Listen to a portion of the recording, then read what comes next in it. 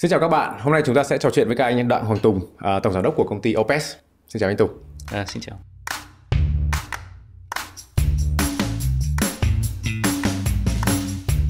Cái, cái chủ đề ngày hôm nay chúng ta sẽ nói về bảo hiểm số và một cái xu hướng của cái thị trường à, tài chính. Tuy nhiên là trước khi chúng ta bắt đầu thì anh có thể giải thích qua là rất là nhiều người tò mò về cái việc là cái bảo hiểm truyền thống với bảo hiểm số thì nó không biết là khác nhau ở chỗ nào anh? Có lẽ à, bảo hiểm truyền thống và bảo hiểm số khác nhau đầu tiên về cái quan điểm, về cái cách thức à, gọi là đưa cái sản phẩm bảo hiểm đến cho người tiêu dùng từ cách thiết kế sản phẩm cho đến việc là mua sản phẩm cũng như là dịch vụ khách hàng và giải quyết quyền lợi bồi thường.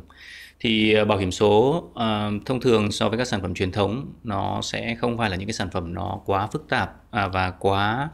gọi là um, đầy đủ về mặt quyền lợi một cái chương trình toàn diện cho khách hàng mà cần đến những người tư vấn hoặc cần rất là nhiều kiến thức để giải thích. Bảo hiểm số nó sẽ là những cái sản phẩm đơn giản uh, uh, dễ hiểu và những khách hàng có thể tự hiểu có thể là tự tìm hiểu phục vụ uh, bản chính bản thân mình và mua hàng. Chính vì thế nó đưa đến cái quy trình vận hành dùng đến gọi là các cái quy trình số hóa tự động rất là nhiều. Ừ. à, các sản phẩm bảo hiểm số thì nó sẽ trở nên rất là đơn giản. À, những cái à, gọi là gói bảo hiểm nhỏ à, với chi phí thấp và có thể mua online được thanh toán online được và ngay cả những quá trình tự phục vụ hoặc về sau giải quyết quyền lợi bảo hiểm bồi thường cũng có thể ở trên online. Thì đó có lẽ là cái sự mà khác biệt là nhiều nhất với cả bảo hiểm truyền thống đang phải phục vụ một cách nó tương đối là có cái lực lượng tư vấn trực tiếp giải quyết uh, trực tiếp uh, dùng đến rất là nhiều nhân lực mà mang tính gọi là manual thông thường thì à, thời gian vừa rồi chúng ta nghe rất nhiều đến chuyển đổi số thì uh, ừ. theo cái thị trường đấy thì cũng thấy là tất cả những cái lĩnh vực như kiểu là thương mại điện tử rồi các thứ là nó đi trước và hoặc là dịch vụ nó đi đi trước hơn rất nhiều nhưng mà tuy nhiên là cái mảng bảo hiểm này thì có vẻ như nó rất là cồng kềnh nó còn chậm thì không biết là theo đánh giá của anh thì anh đang đánh giá như thế nào về cái tốc độ à, chuyển đổi số hoặc là tốc độ chuyển gọi là chuyển mới của của bảo hiểm này? À, đúng là như vậy. Thì hiện tại thì ở cái lĩnh vực bảo hiểm nó cũng à, có lẽ là nó đi sau à, với cả các cái à, các cái lĩnh vực à, kinh doanh khác có những cái gọi là dịch vụ khác à, một khoảng thời gian. Tuy nhiên thì tốc độ ở trong thời gian à, vừa qua việc à, chuyển đổi số việc là là là áp dụng à, gọi là số hóa ở trong à, các cái dịch vụ bảo hiểm thì đã à, trở nên là phổ biến và à, có cái, cái cái gọi là tốc độ nó mạnh mẽ hơn và nó cũng tùy thuộc vào từng thị trường ví dụ như là các thị trường như là ở Trung Quốc À, Thái Lan, Indonesia hay là ở thị trường châu Âu và Mỹ thì cái tốc độ nó mạnh và nó nhanh hơn ở các thị trường khác. Ừ. Đấy thì nó cũng tùy thuộc vào các thị trường khác nữa. Nhưng in general thì đúng, đó là nếu mà so sánh về các cái ngành nghề khác nhau thì ở trong lĩnh vực bảo hiểm nó đang đi sâu đi sau à, các cái à, lĩnh vực khác một chút. Ừ. À, không biết là nếu mà nói về cái thị trường thì à, hiện nay cái thị trường ờ, bảo hiểm truyền thống và bảo hiểm số hoặc là cái thị trường hiện tại ở Việt Nam thì không biết là nó đang như thế nào anh? Câu hỏi này nó cũng khá là thú vị ở tại thị trường ờ, Việt Nam thì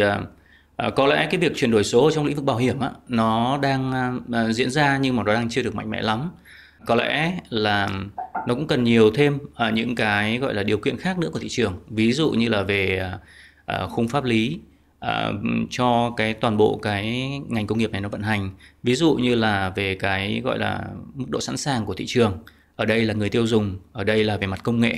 và thêm nữa là cái đánh giá của các cái gọi là các player, các công ty bảo hiểm ở tại Việt Nam rằng thị trường nó đã có đủ tiềm năng, đã, đã đúng cái thời điểm để mà đầu tư hay không. Ừ. Thì nó cũng tùy thuộc rất là khác nhau vào từng à, công ty bảo hiểm. À, tuy nhiên thì uh, theo như uh, cá nhân mình nhìn thấy thì cái xu thế này nó đang đang à, gọi là rõ nét và và và rõ ràng hơn các công ty đang số hóa tự động hóa một phần nào đó gọi là các cái à, dịch vụ của mình các sản phẩm của mình tuy nhiên nếu mà đi theo một cái mô hình hoàn toàn là số thì có lẽ là chưa nhiều mà trong đó thì ừ. Opes là một trong những đơn vị đang đi tiên phong ừ. một trong những cái yếu tố quan trọng nhất là người tiêu dùng và khách hàng ừ. thì uh, trong cái bảo hiểm số này các cái dịch vụ các cái cách tiếp cận các cái cách uh, hình thức thanh toán thì không biết là cái khách hàng thì bây giờ hiện tại ờ, cái, trong cái công ty của mình hoặc là trong cái lĩnh vực này thì khách hàng đang được đặt ở vị trí như thế nào và cần sẽ phải cung cấp những cái gì, chăm sóc ra sao thì không biết là nó có cái gì khác như thế nào so với cả lĩnh vực truyền thống? Có lẽ là ở trong tất cả các lĩnh vực thì à, mọi người nói rất nhiều về việc rằng khách hàng là trọng tâm, gọi là customer oriented hay gì đó. Mà tuy nhiên thì đúng là trong thực tế à, một doanh nghiệp có làm đúng theo những cái tôn chỉ đó hay không thì lại là một chuyện cũng à, khá là khác. À, còn đối với cả bảo hiểm số thì đúng là khách hàng cần phải ở trong cái cái cái gọi là trọng tâm của tất cả mọi khâu từ uh, gọi là vận hành của một doanh nghiệp từ việc cái thiết kế sản phẩm nó là như thế nào để phù hợp với đối tượng khách hàng phù hợp với cả cái hình thức vận vận hành số cho đến cái dịch vụ khách hàng ở đằng sau cho đến giải quyết quyền lợi bồi thường thanh toán kể cả việc thanh toán mua bảo hiểm cũng như về sau việc trả bồi thường cho khách hàng. Làm sao có thể tất cả những cái đó thuận tiện đơn giản và một cách nhanh chóng rõ ràng nhất cho khách hàng thì đấy là cái mà bảo hiểm số đang nhắm đến. Ừ. À, trước khi chúng ta đi vào sâu hơn một chút liên quan đến các cái uh, dịch vụ, các cái sản phẩm, ừ. thì uh, anh cũng là một người đã công tác rất nhiều năm cho các công ty đa quốc gia, công ty ừ. quốc tế, từ AIG đến Chubb. Thì uh, đây cũng là một câu hỏi đến, liên quan đến cá nhân anh thì uh, ước mơ của của mọi người đều sẽ là làm cho công ty lớn, công ty ở nhiều quốc gia khác nhau và công ty có một cái bề dày lịch sử rất là tốt. Tuy nhiên là anh đã quyết định bỏ những công ty lớn như vậy và anh uh, tham gia vào Opes thì không biết là ừ. lý do gì mà anh anh quyết định như vậy? À, khi mà mình mới uh, chuyển sang Opes thì cũng uh, có được hỏi cái vấn đề này khá là nhiều từ các bạn bè đồng nghiệp. Và tuy nhiên thì uh, ở đối với cả cá nhân mình mình thì mình suy nghĩ là như thế này. Ờ, đó là đối với mình thì mình muốn rằng là à sau một thời gian mình đã có được những trải nghiệm, những thu thập kinh nghiệm nhất định ở các cái môi trường quốc tế mình đã học được nhiều những cái kiến thức khác nhau thì mình muốn làm một cái gì đó cho cộng đồng doanh nghiệp địa phương. Mình muốn à, gọi là truyền lại những kiến thức và những cái cách gọi là kinh nghiệm đó à, để mà phát triển một cái doanh nghiệp địa phương để từ đó xây dựng cái năng lực nội tại à, của cái ngành bảo hiểm Việt Nam đấy, đấy là cái một trong những cái cái cái nguyên nhân đầu tiên. Cái thứ hai nữa rằng là um, đối với cả thị trường Việt Nam bây giờ đã, đã có rất là nhiều thay đổi và có rất là nhiều những cơ hội mở rộng ra mà có những cái hệ sinh thái ở trong nội địa.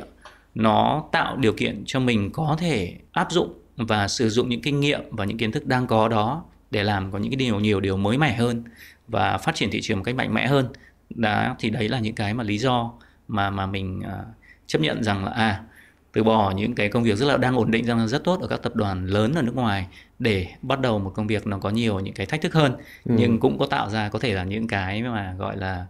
uh, thú vị hơn cho bản thân. Nếu mà tiếp tiếp cái câu chuyện này thì không biết là cái điều gì là cái điều anh cảm thấy thú vị nhất từ lúc anh tham gia vào OPS? À, có lẽ đó là việc là mình à, được chủ động mà gọi là xây dựng và thử nghiệm à, rất là nhiều những điều mới từ cái cách thức vận hành cho đến là à, trong việc là xây dựng cái sản phẩm à, dịch vụ theo những cái gì mà mình nghĩ là ok là nó hợp lý nó là đúng nó sẽ tạo ra những bước chuyển biến à, mạnh mẽ cho OPS nói riêng và cho thị trường nói chung đấy là những cái mà uh, những cái hệ sinh thái mà mà ở trong nước mà mà có thể tạo ra những cái cái gọi là tự do những cái freedom những cái điều kiện để ừ. mình có thể làm những việc đó mình có thể là thử nghiệm rất là nhiều thứ khác nhau ừ. Ừ. À, liên quan đến cái thử nghiệm liên quan đến những cái trải nghiệm mới thì uh, ví dụ ở cá nhân uh, hoặc là ở cái góc độ là người dùng thì uh, bảo hiểm luôn luôn là một cái dịch vụ mà mình sẽ tiếp cận hoặc là tương tác ví dụ một năm một lần một quý một lần. Ừ thì à, không biết là bây giờ nếu mà để mình đảm bảo được cái việc là mình hiểu khách hàng mình à, nắm được các cái hành vi của khách hàng thì làm sao mà mình có thể là đảm bảo được cái độ tương tác hai chiều như vậy đối với cả bảo hiểm số thì cái cách thức à, như đã mình đã chia sẻ ở phần đầu thì cách thức làm sản phẩm cách thức mà cung cấp dịch vụ nó sẽ khác với cả công ty bảo hiểm ừ. truyền thống. Đó là việc xây dựng những cái sản phẩm mà đi theo uh, sản phẩm nhỏ micro mà đi đi theo những cái gọi là hoạt động hàng ngày của khách hàng. Do đó cái cái cái cường độ tương tác nó sẽ rất là thường xuyên. Ví dụ những cái sản phẩm mà mình đi kèm với cả các cái dịch vụ mà họ sử dụng hàng ngày như là một cái taxi công nghệ ví dụ như là mua, mua vé máy bay ví dụ như có thể là đặt phòng khách sạn thì đấy là những cái mà nó không phải là một năm hay là một quý mà có thể nó ừ. xảy ra hàng ngày hoặc là có thể là hàng tuần hàng tháng thì lúc đó cái mức độ tương tác của công ty bảo hiểm và khách hàng nó sẽ thường xuyên hơn ừ. và đấy là cái thứ nhất cái thứ hai nữa là đối với các bảo hiểm số thì mình sẽ có điều kiện mình đưa đến nhiều những cái dịch vụ khác nhau hơn một cách trực tiếp đến khách hàng khi qua những cái việc xây dựng các ứng dụng mà có thể ở trên à, khách hàng sử dụng smartphone những cái thiết bị cầm tay thường xuyên thế thì có những cái tương tác về các activity về những chương trình promotion khuyến mãi hoặc những cái dịch vụ add-on mà ừ. bình thường các công ty bảo hiểm truyền thống ít khi quan tâm đến thì bảo ừ. hiểm số thì hoàn toàn có thể làm những uh, được những cái việc đó. Anh có thể uh, cho em biết thêm một cái gọi là một cái hành trình của khách hàng của Opes ừ. là nó như thế nào? Uh, các cái điểm chạm của mình ừ. là ở đâu và có thể là sau đấy là Opes khác gì với cả các cái à, player khác ở trên thị trường? Đối với cả Opes hiện tại thì à, công ty đang nhắm đến cái mô hình là B2B2C là khá là nhiều. Việc đưa sản phẩm bảo hiểm đến với các khách hàng nó trở nên tự nhiên hơn và đi kèm đối với cả những cái dịch vụ mà thiết yếu mà họ đang họ đang à, sử dụng hàng ngày. Đó là những cái việc mà mình sẽ đưa cái sản phẩm bảo hiểm vào trong hành trình của khách hàng. Trên ứng dụng à, trong hành trình mà người ta mua một cái vé máy bay ở trên một số những cái công ty du lịch thì sản phẩm bảo hiểm nó nằm ở đó để khách hàng có thể lựa chọn được ngay. Thì đấy là một trong những cái điểm chạm đầu tiên. Uh-huh. à, điểm chạm thứ hai đó là ok là um, bên mình cũng vừa mới uh, phát triển và launch cái app của Opes. Và khách hàng thì hoàn toàn có thể là sử dụng cái app đó. Thì những cái điểm chạm hàng ngày đó là những cái gọi là uh, thông tin cho khách hàng về các chương trình khuyến mãi khi mà khách hàng cần đến tái tục. Hoặc là khi có những cái uh, event những cái sự cố xảy ra mà khách hàng cần phải lưu tâm ví dụ như những khách hàng mà sử dụng về sản phẩm bảo hiểm xe cộ thì đấy là nó là những cái tương tác hàng ngày đấy là một cái ừ. điểm chạm tiếp theo cho những cái dịch vụ add-on cộng thêm ừ. cái điểm chạm thứ ba đó là về bồi thường thì thực ra mà nói thì hiện tại thì đối với cả bồi thường thì um, OPS đưa đến cái việc là dịch vụ mà um, gọi là khai báo bồi thường và yêu cầu bồi thường online cho khách hàng thì trên tất cả những cái hành trình mà đối tác đang có thì đều luôn luôn có những cái gọi là những cái function những cái chức năng ở ngay trên à, gọi là trang web của đối tác hay của OPS để khách hàng nếu mà cần thì có thể là tương tác ngay lập tức yêu cầu bồi thường submit hồ sơ à, cung cấp hồ sơ giấy tờ và ngay cả nhận tiền bồi thường cũng là online ừ. thì đấy là những cái điểm chạm có lẽ là ba cái điểm chạm à, chủ chốt mà mà chính yếu mà hiện tại uh, OPS và khách hàng đang đang đang tương tác với nhau Ừ. Nếu mà nghe câu chuyện này thì có vẻ như là công ty bảo hiểm ví dụ về nhận mặt nhân sự thì không biết là bao nhiêu phần trăm là dân công nghệ và bao nhiêu phần trăm là dân chuyên môn. Thông thường thì đúng là ở trong cái phần này thì tỷ lệ về dân công nghệ à, ở trong một công ty bảo hiểm số nó sẽ sẽ sẽ cao hơn. Thêm vào nữa thì uh, có lẽ là nói một cách nó chính xác hơn đó là việc đầu tư vào công nghệ của một công ty bảo hiểm uh, theo hướng là bảo hiểm số thì nó sẽ nhiều hơn vì uh, mình sẽ không chỉ dùng cái lực lượng công nghệ ở trong nội tại mà cái lực lượng đó cũng cần phải tìm hiểu và đồng thời áp dụng những cái công nghệ mới sẵn có ở trên thị trường kết hợp với các đối tác khác chứ ừ. còn đối với công nghệ thì mình cũng không không không cần và cũng không nên rằng là tự phát triển mọi thứ ừ. thì do đó thì lực lượng công nghệ là một mảng và cái thứ hai là việc mà đầu tư chi phí để có thể là hợp tác với các đối tác công nghệ khác integrate uh, tích hợp vào trong toàn bộ cái dịch vụ và sản phẩm của mình thì là cái quan trọng hơn. Ừ. Ở đây thì nếu mà mình có thể phát triển được và phát triển được cái thị trường thì uh, mình sẽ cần phải có một cái xây dựng một cái hệ sinh thái và một cái ừ. ecosystem của các đối tác của mình.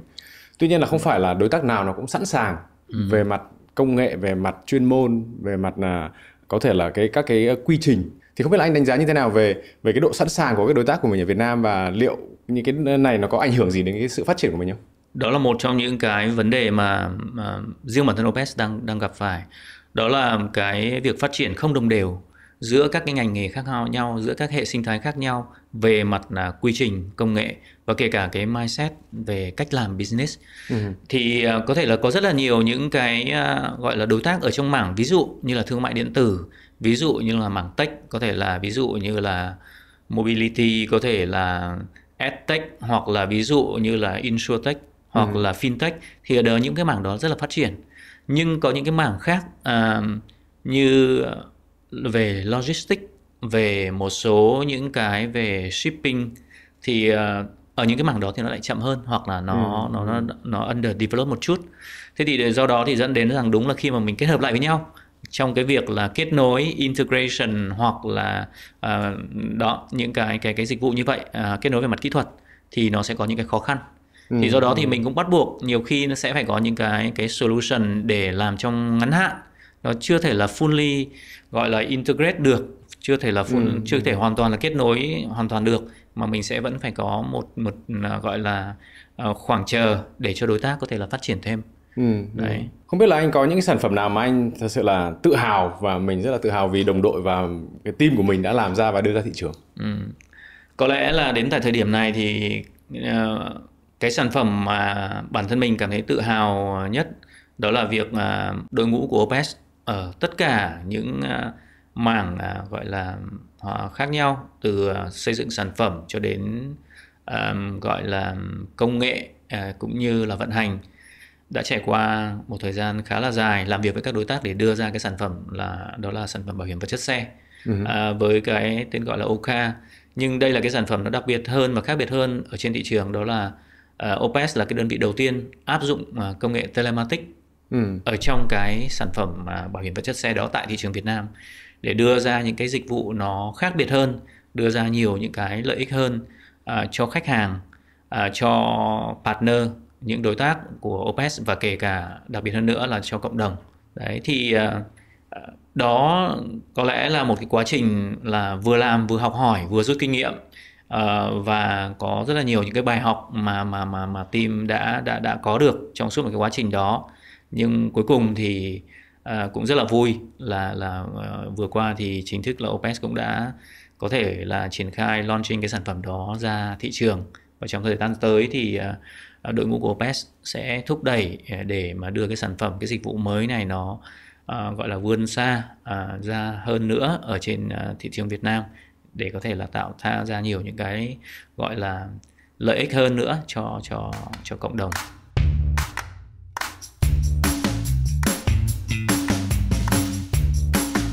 Anh có thể nói nói cụ thể hơn là cái OK là nó như thế nào, cái telematics đưa vào là mình đã đang uh, giải quyết những cái khâu nào và là cái cuối cùng là cái giá trị cuối cùng cho cho người dùng là gì? Đối với cả công nghệ telematics này thì à, nó sẽ có nhiều những cái à, giá trị khác nhau. À, tuy nhiên ở trong giai đoạn đầu thì à, Opes đang nhắm đến việc là sử dụng cái công nghệ này để thay đổi cái hành vi à, thói quen lái xe của khách hàng để từ đó tạo ra một cái gọi là thói quen tốt hơn, một cái hành vi lái xe an toàn hơn và từ đó tạo ra một cái cộng đồng nó an toàn và hạnh phúc hơn khi chúng ta có thể cùng nhau giảm thiểu được những cái rủi ro về tai nạn giao thông ở ở, ở trên đường phố. Thì ờ, cái công nghệ telematics này hiện tại OPEX đang nhắm đến là giúp cho lái xe nhận biết được những cái hành vi lái xe của mình. Ví dụ anh tăng tốc như thế nào anh đang thay đổi à, gọi là cái hướng đi ra làm sao anh lái xe có sao nhãng hay không hay là anh đang sử dụng à, gọi là phanh xe hoặc thắng xe đó là à, cái thói quen đó như thế nào nó có dễ dàng dẫn đến cái gọi là tai nạn hay không ừ. tất cả những cái đó nó được à, à, ghi nhận à, trong cái quá trình mà mà mà một khách hàng lái xe và sau đó sẽ được gọi gửi đến cho khách hàng để từ đó họ có thể nhìn thấy à cái điểm lái xe của anh được chấm qua một số những cái bộ chỉ tiêu đó là cái gì ừ, thì ừ. từ đó họ biết rằng à đâu là những điểm mà chúng tôi cần phải để ý một khách hàng cần phải quan tâm và thay đổi ừ. thì đấy là cái mà mà mà cái công nghệ telematics nó có thể uh, gọi là đem đến những cái giá trị như vậy. Và cùng với đó thì uh, OPS cũng sẽ có thể uh, gọi là đưa ra được những cái uh, gọi là uh, phần thưởng những cái gọi là uh, món quà để gọi là khích lệ khách hàng thay đổi cái hành vi đó. Và từ đó cuối cùng uh, sẽ uh, tạo ra một cái cộng đồng nó an toàn hơn khi ừ. mà mọi người đều có thể là thay đổi cái thói quen của mình theo hướng lái xe là cẩn thận ừ. hiệu quả hơn nếu mà em hình dung cái này thì một là mình đang đưa một cái sản phẩm vừa là đảm bảo và à, gọi là bảo hiểm cho họ ừ. tuy nhiên là anh cũng đưa các cái công nghệ telematics vào và cũng là có một cái gamification để ừ. kích động các bạn là người lái xe hoặc là người dùng của mình là tham gia nhiều hơn và không biết là mình có đang đi theo cái hướng là xây dựng cả cộng đồng không thì nó có cái kiểu là cạnh tranh rồi là có thể nhìn uh, nhìn các cái bạn khác ở trên đường họ như thế nào thì không biết là nó có cả cái phần này không? Um, đó nó sẽ nằm ở trong cái kế hoạch mà phát triển dài hạn hơn của của OPS để từ đó nó tạo thành một cái gọi là sự lan tỏa trong cộng đồng tạo thành một cái uh, đấy có thể là có cái cái cái sự so sánh cạnh tranh để từ đó mọi người có thay đổi cái thói quen theo hướng rằng ok họ nên lái xe an toàn ừ. an toàn hơn đấy. ví dụ cá nhân anh anh là người lái xe kiểu gì mình uh, chắc là có lẽ ở độ tuổi này mình bây giờ lái xe khá là cẩn thận. Còn hồi trẻ thì làm sao anh? Chắc là hồi à, trẻ, hồi trẻ cũng, không, không đạt tiêu chuẩn cũng à? không đạt tiêu chuẩn đâu. Cũng phải thừa nhận là như thế. Và tuy nhiên tại vì uh, thực sự uh, đối với cả cá nhân thì nhiều khi mình nghĩ rằng đấy là à mình đang hoàn toàn có thể là gọi là đang hoàn toàn là kiểm soát được cái hành vi lái xe của mình. Và tuy nhiên thì uh, có lẽ những người khác lại có một cái cách cách nhìn khác và đối với cái công nghệ công nghệ này thì mình nghĩ đối với cả ngay cả các bạn trẻ bây giờ thì họ có thể cũng sẽ có nhận được những cái feedback góc nhìn khác từ cái công nghệ này để chỉ ra rằng à không phải rằng là anh đang kiểm soát tốt đâu mà rủi ro nó đang nằm ở một số những cái điểm như thế này ừ, ừ. Đấy. Đấy. bây giờ giả sử ấy, chỉ là hypothesis là nếu mà em mà lái xe mà tốt theo ừ. tiêu chuẩn của ừ. theo cái công nghệ telematics mà đánh giá tốt này thì cái bảo hiểm của em sẽ giảm giảm được ví dụ 20% đi. Ừ. Thì uh, liệu với cái à, cái uh, gọi là cái mong muốn cái thú vui của mình là muốn lái xe muốn chạy nhanh muốn trải nghiệm rồi là có thể là muốn hơi có một tí gọi là adrenaline một tí. Ừ. thì không biết là theo đánh giá của anh bây giờ mọi người có đánh đổi 20% hoặc là cái giá rẻ hơn cho bảo hiểm với cái việc là mình có thể có một cái thú vui lái xe chạy xe nhanh? Nhiều lúc chạy xe nhanh nhưng không phải liên không phải là nó sẽ liên quan đến cái điểm xấu. Tức là nếu mà anh chạy xe nhanh nhưng mà nó nằm ở trong cái phạm vi tốc độ nó phù hợp với điều kiện đường xá thì ừ. nó cũng không vấn đề gì cả à, cái công nghệ này nó cũng sẽ có những cái thuật toán để nó căn cứ theo những cái hành vi thói quen bình thường của mọi người để biết đánh giá rằng đâu là cái rủi ro thực tế chứ nó không phải rằng là tốc độ cao hay tốc độ thấp ừ. mà đây có thể là ví dụ như là anh chạy xe nhanh nhưng là chạy xe anh tăng tốc ở trong một khoảng thời gian nó quá gấp thì đó là những cái mà gọi là ừ, có thể là rủi ro xảy ra hoặc là ở những cái chặng đường mà ở đường nội thị người ta chắc chắn biết rằng chỉ 50 thôi mà anh chạy đến 70 80 thì cái đó thì cũng không khuyến khích rồi. Ừ, ừ. thì có thể nhưng mà nếu mà anh ra cao tốc mà anh chạy xe nhanh thỏa mãn cái đam mê của anh về tốc độ thì cái đó nó cũng sẽ không bị ảnh hưởng. Ừ. Đấy. Do đó thì cái toàn bộ cái cái cái công nghệ về telematics đó nó sẽ phụ thuộc vào tất cả những cái yếu tố đó nữa. À, à. Và nếu mà ở trong một tổng thể thì thỉnh thoảng anh chạy xe nhanh thôi thì chắc điểm của của mình nó cũng sẽ không bị ảnh hưởng để phải đánh đổi những cái đó. Ừ, ừ. À, vì sao em hỏi tại vì ngày xưa thì ở bên Đức thì à, bên đấy thì hình như là chắc là cũng duy nhất trên thế giới là nó à. có là không giới hạn tốc độ. À. Và bên đấy thì là nếu mà ai mà có cái thú vui này thì thường họ cứ hàng năm sang bên đấy và chạy 300 km trên giờ cũng được. Thì có thể là với cái công nghệ của anh sử dụng cái bảo hiểm của anh thì không biết là đấy có thuật toán thì là được rồi. Còn ừ. nếu mà không có thuật toán thì nó sẽ sẽ hơi ảnh hưởng một chút. Đúng đúng vậy, đúng vậy. À, nếu mà nói về uh, các cái um, telematics rồi là anh đang phát triển những cái sản phẩm mới thì đâu đó anh cũng phải có một cái đội ngũ mà phải nghiên cứu phát triển và xem thị trường rồi phân tích thị trường thì không biết trong nội bộ Opes mình là đã có cái đơn vị R&D hoặc là đơn vị nào mà có thể nghiên cứu liên tục nghiên cứu các cái sản phẩm mới không? Hiện tại thì đối với cả bên Opes à, có những cái bộ phận à, sẽ chịu trách nhiệm cho cái việc đó. Nó không à, thành hẳn gọi là một bộ phận là liên quan à, gọi là có cái chức năng là R&D ừ. nhưng có những cái bộ phận nó liên quan đến việc là xây dựng và phát triển sản phẩm à, những cái sản phẩm mới những cái xu thế mới những cái dịch vụ mới ở trên thế giới để có thể là OPS chủ động là xây dựng và đưa ra tại thị trường Việt Nam và cái đó nó cũng sẽ không chỉ dừng ở bộ phận phát triển sản phẩm mà ngay cả ở bên phần về công nghệ thì ừ. tất cả những cái dịch vụ mà có thể phục vụ được cho lĩnh vực bảo hiểm à, ngay cả ví dụ như là các công nghệ về video streaming, OCR, hình ảnh công nghệ ừ. về đọc hình ảnh à, đấy rồi là tất cả những cái à, liên quan đến chẳng hạn như là big data hoặc là AI thì nó bộ phận công nghệ cũng sẽ chịu trách nhiệm là ở cái góc độ của họ cũng phải chủ động tìm hiểu và ừ, ừ. À, đưa ra những cái gọi là khuyến cáo những cái kiến nghị những cái đề xuất để có thể áp dụng những cái đó ở trong vận hành của tại Opes ừ. thì do đó cái cái cái chức năng đó nó sẽ được nằm rất là rõ nét ở hai bộ phận đó nhưng nhiều khi á, tất cả các ở các bộ phận của OPS mọi người đều được khuyến khích về cái văn hóa gọi là đổi mới sáng tạo và ừ, văn hóa ừ. trong việc tìm hiểu uh, những cái công nghệ những cách làm mới những quy trình mới để, để áp dụng vào cái mô hình số của OPS. Ừ. À, nếu mà có thể chúng ta chạm một chút liên quan đến nhân sự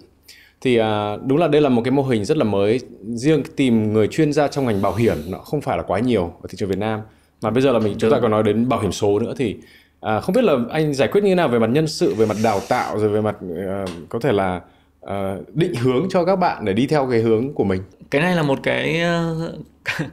câu hỏi khá là đau đầu đối với cả một người uh, gọi là đứng mũi chịu sào như mình. Phải nói thật là như vậy. Và bạn cũng vừa nêu ra một cái thực trạng rất là chính xác ở trong trong trong ngành bảo hiểm. À, đó là về vấn đề về nhân sự nó là một ngành tương đối là hẹp, chuyên môn sâu. Thêm vào nữa thì đúng ở mảng digital thì ở Việt Nam thì chắc chắn là không thể nào như các nước khác rồi để mà có những nhân sự sẵn có. Đối với cả, cả vấn đề này thì à, mình à, bắt buộc sẽ phải tìm kiếm những cái sân nhân sự mà nó phù hợp về mặt mindset phù hợp về cách suy nghĩ để từ đó có thể là đào tạo và phát triển thêm và ừ. cùng học hỏi. Đấy thì uh, uh, bên công ty cũng có uh,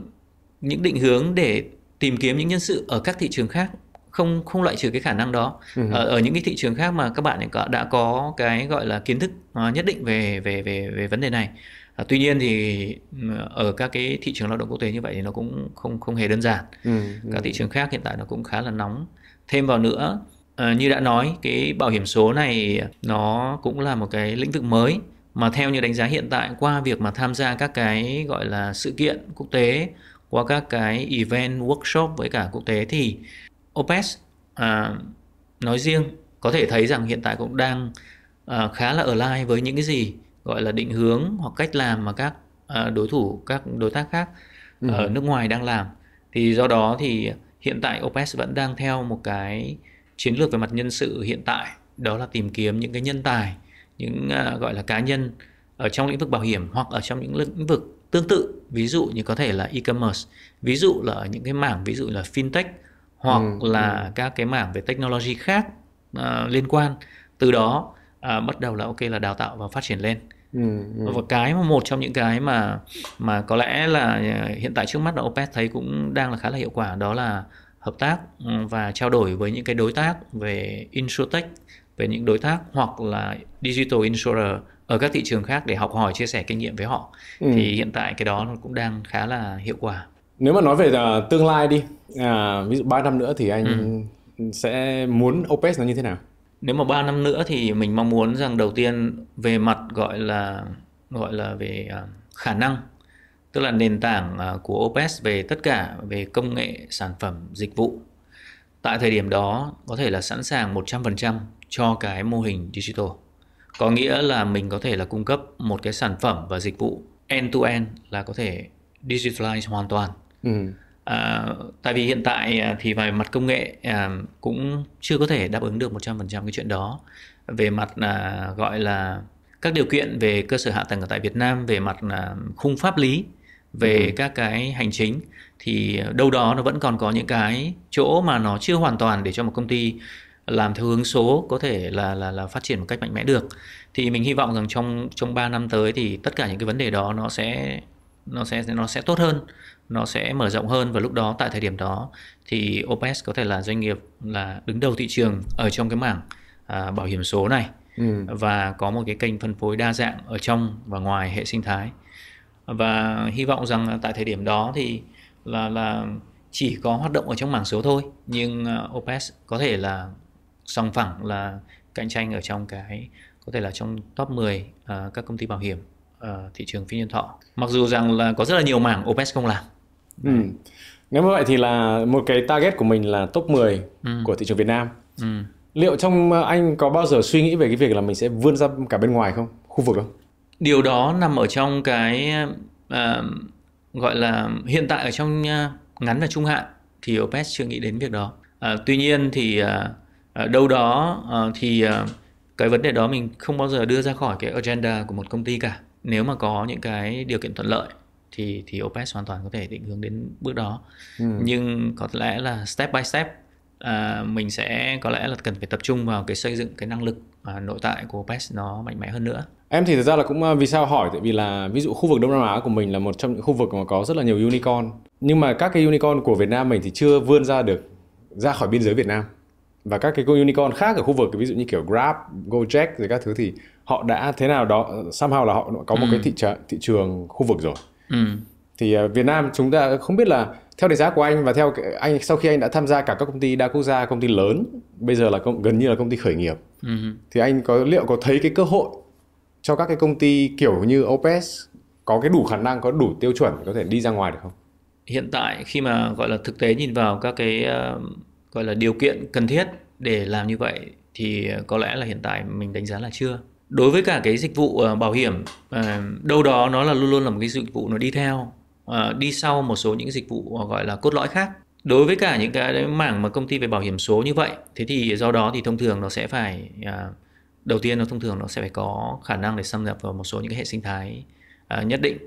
Đây cái, cái đó là cái đầu tiên. Cái thứ hai nữa ở mảng về bảo hiểm về tài chính ấy, khi mà vươn ra những thị trường khác thì bao giờ cũng vậy nó có thêm những quy định khá là ngặt nghèo ừ. nhiều cái điều kiện cần phải đáp ứng về uh, gọi là quy mô vốn về năng lực về chẳng hạn như là những cái tính thích ứng được ở trong cái mảng về gọi là tài chính ừ. thì ừ. điều kiện mà gia nhập thị trường nó sẽ khó khăn hơn nhiều ừ. đấy ừ. khi mà đi sang các thị trường khác thì có lẽ tại thời điểm này thì mình chưa thấy nó là cái cơ hội chín mùi mà cho các doanh nghiệp uh, như là Opes có thể đi ra ngoài các cái bạn mà nghe Việt Nam Innovator thì cũng có rất là nhiều bạn đang rất là trẻ có thể đang học hoặc là vừa mới học xong đang sinh sống ở nước ngoài và cũng đang ừ. cũng là đang theo dõi những cái chương trình này để học hỏi thêm về thị trường đang như thế nào đang à, cái dynamic của thị trường nó đang diễn ra như, ra sao thì anh à, anh là một người có rất nhiều kinh nghiệm rồi thì không biết là nếu mà anh có hai lời khuyên cho các bạn có thể là bây giờ mình đối tượng của các bạn là các bạn đang ở nước ngoài thì ừ. những cái lời khuyên từ anh từ những người đã có kinh nghiệm trải qua rất là nhiều thứ rồi thì sẽ là là cái gì nếu mà các là các bạn trẻ thì mình nghĩ là cố gắng um, gọi là trải nghiệm cố gắng à, gọi là thử thách bản thân mình càng nhiều càng tốt làm việc và có thể là học hỏi ở nhiều những cái môi trường khác nhau. À, để từ đó được có được những cái kiến thức và kinh nghiệm à, về sau này. Có lẽ các bạn ở nước ngoài thì sẽ có cơ hội để làm việc cho những cái tập, tập đoàn đa, đa quốc gia hoặc là nhiều các những cái gọi là công ty khác nhau rồi. Nhưng mà mình cũng muốn là nói đề cập đến với các bạn ở trong nước là cũng nên rằng là thử sức mình trau dồi cái kiến thức và đồng thời là sẵn sàng là là là gọi là có thể là chịu khổ chịu cực để mà có thể là trải nghiệm và làm việc trong các môi trường của các công ty đa quốc gia có thể là ngay ở các thị trường khác dám ừ. gọi là vươn ra ngoài để đi làm học hỏi kinh nghiệm đừng nghĩ vội đến gọi là những cái gì mà gọi là cho bản thân mình đây là thời gian mà các bạn nên là tích lũy kiến thức tích lũy kinh nghiệm trước ừ. để đấy là cái vốn sống và vốn kiến thức ờ, rất là hữu ích cho các bạn về sau cái thứ hai là khi mà đến một thời điểm nào đó rồi khi mà chúng ta cảm thấy vững vàng rồi và có đầy đủ các kiến thức rồi thì đừng ngại là quay về và thử sức ở tại Việt Nam. Ừ. mình có thể nói rằng ok là thị trường Việt Nam bây giờ là khá là sôi động và khá là